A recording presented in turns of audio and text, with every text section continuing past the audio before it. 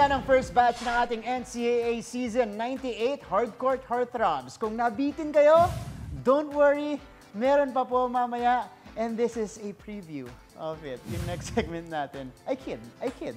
But now, from one set of good-looking men to another, kasama ko po ulit si Mr. Pure Business and Pleasure, Anton Rojas, Coach Hammer Martin Antonio, and joining us to complete the Fearless Forecast Heartthrobs is former LPU Pirates head coach turned PBA head coach Topex Robinson. Coach, welcome back to the Studio of Champions. Yep.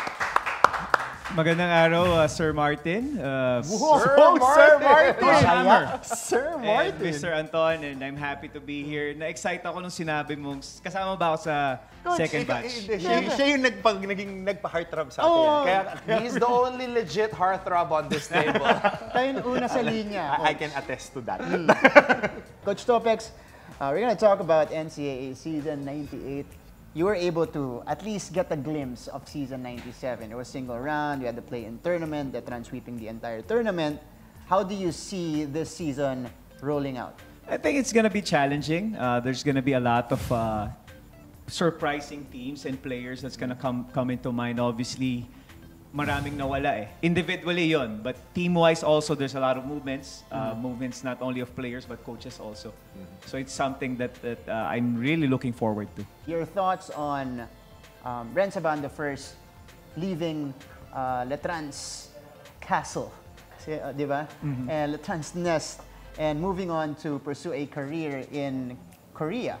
Your thoughts on that? Well, I guess he served his purpose naman with, with Letran. I mean, winning a championship as a team, also bagging the MVP and the rookie as a player. So it's mm. it's gonna be etched in the NCAA. And so wherever Renz goes, nandun sa NCAA mm. together with, with him. Yeah. Mm. and although we are saddened with his departure, we are also happy for him. We celebrate it. We Because celebrate um, Produkto it's, it, it's something that we are proud of. Because one of our goals here in the NCAA and here at GMA is to put the spotlight on these student athletes and in the process, give them the exposure that they need to have opportunities like that. Ito, Coach, uh, from the departure of many, many players, big names that are doing very well right now in the professional ranks, by the way.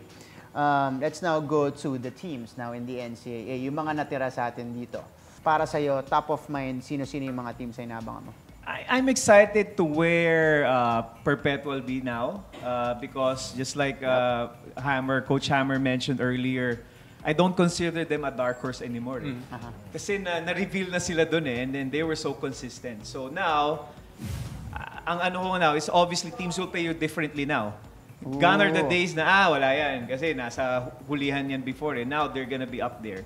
And I was looking at their lineup, they're still the same, Same- group of same guys. team. Ah. Um, they have a, a great coach in Coach Mike. So, ang challenge now for them is how can they not only duplicate but up that level. Kasi nga, there were there were a few possessions aware of making it to the finals. Obvi- that's number one. I'm excited for uh, San Sebastian because they were so impressive, and, and I know that uh, those guys are playing well right now, and yun yung isa- isang team pa. And In the dagdagan mo off-season na- leagues, ano? Yeah. Ah.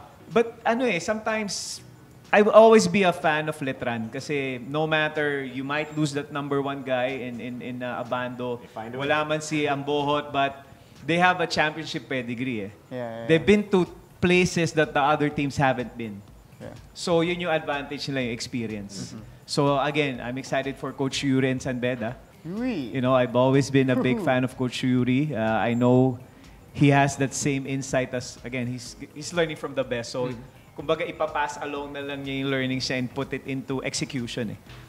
I mean, yun, he- yung, yung pinakamahirap. Yung, yung putting it in- into execution and we, we know Coach Topic. Para sa na nirarun na system dati with Coach Mike sa Perpetual Triangle and then now they're running that flow system.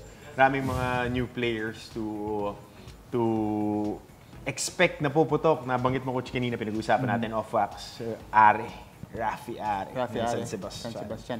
Younger brother of Mike.